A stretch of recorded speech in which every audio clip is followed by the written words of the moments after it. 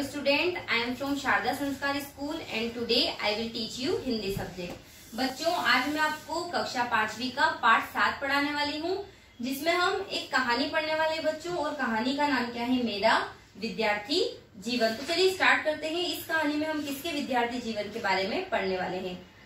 High school में मैं मूर्ख नहीं माना जाता था। शिक्षकों के प्रति प्रेम भावना हमेशा प्रकट करता रहता। हर साल माँ बाप को विद्यार्थी की पढ़ाई व चाल चलन के संबंध में प्रमाण पत्र भेजे जाते हैं। उनमें कभी मेरी पढ़ाई या चाल चलन की शिकायत नहीं की गई। दूसरे दर्जे के बाद तो इनाम भी पाए और पांचवे और छठे दर्जे में तो क्रमशः चार रुपए और पंद्रह रुपए मासिक छात्रवृत्ति भी मिली। छात्रवृत्तियाँ मिलने से मेरी योग्यता की अपेक्षा भाग्य से नहीं, अधिक सहायता की। छात्रवृत्तियाँ सब लड़कों के लिए नहीं थी और उस समय 40-50 विद्यार्थियों की कक्षा में सौराष्ट्र प्रांत के विद्यार्थी बहुत नहीं होते थे। अपनी तरफ़ से दो, मुझे यह याद आता है कि मैं अपने को बहुत ही योग्य समझता था। इनाम अथवा छात्रवृत्ति मिलती तो मुझे आश्चर्य होता, परंतु हाँ अपने आचरण का मुझे बड़ा ही ख्याल रहता था। सदाचार में यदि चूक होती तो मुझे रोना आ जाता। यदि मुझसे कोई ऐसा काम बन पड़ता जिसके लिए शिक्षक को उल्हाना देना पड़े, अथवा उनका ऐसा विचार भी हो जाए दुख न होता मैं पीटा, किंतु इस बात का बहुत दुख हुआ कि मैं दंड का पात्र समझा गया। मैं फूट फूट कर रोया। यह घटना पहली या दूसरी कक्षा की है बच्चों।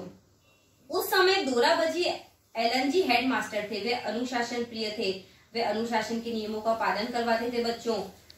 विविध पूर्वक काम करते और काम लेते तथा पढ़ाई अच्छी तरह से करवाते। उन्होंने ऊँचे दर्जे के विद्यार्थियों के लिए व्यायाम, क्रिकेट आदि अनिवार्य कर दिए थे।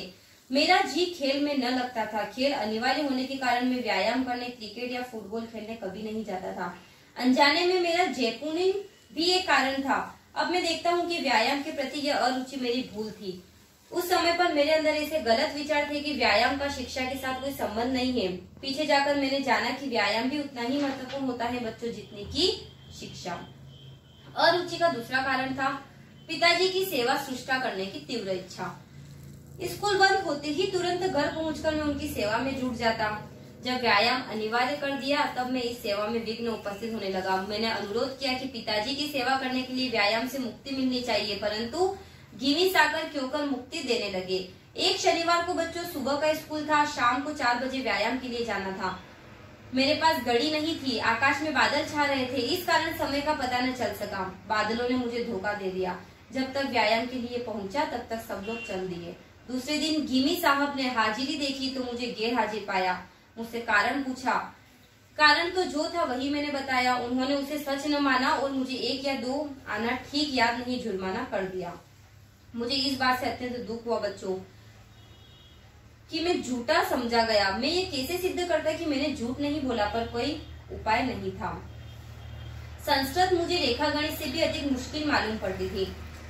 रेखा गणित में तो रटने की कोई बात नहीं थी, परंतु संस्कृत में मेरी दृष्टि से सब रटना था। ये विषय भी चौथी कक्षा में शुरू हुआ। छठी कक्षा में जाकर तो इस विषय से मेरा दिल बैठ गया। संस्कृत शिक्षक बड़े सरल थे। विद्यार्थियों को बहुत पढ़ा देने का लोभ उन्हें रहता था। मैं शर्मिंदा था बच्चों। शिक्षक के प्रेम की अवहेलना न कर सका। आज मेरी आत्मा मास्टर कृष्ण शंकर का उपकार मानती है। अब तो मैं यह जानता हूँ कि भारतवर्ष की उच्च शिक्षा में मातृभाषा के उपरांत राष्ट्रभाषा संस्कृत, फारसी, अंग्रेज़ी के लिए भी स्थान होना चाहिए। इतनी भाषाओं की गिनती से किसी को डर जाने की आवश्यकता नहीं, यदि विविध पूर्वक भाषाएँ पढ़ाई जाए।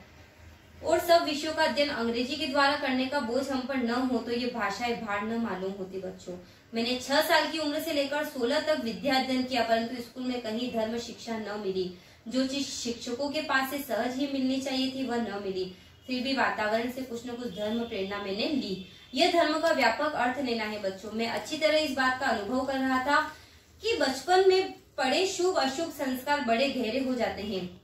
इसीलिए यह बात अब मुझे बहुत खल रही है कि लड़कपन में कितने ही अनेक ग्रंथों का श्रवण पाठ हो सकता है बच्चों। ये कहानी किसके बारे में थी? महात्मा गांधी के बारे में थी बच्चों। Thank you so much